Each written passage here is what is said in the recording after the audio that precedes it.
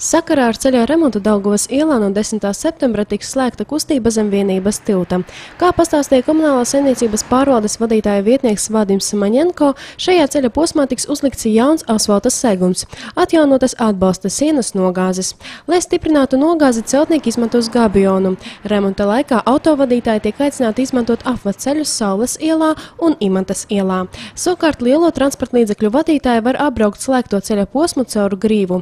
Komunālā Saimniecības pārvalde aicina sekot pagaidu ceļa zīmes norādēm. Remontdarbi tiks veikti līdz 3. novembrim.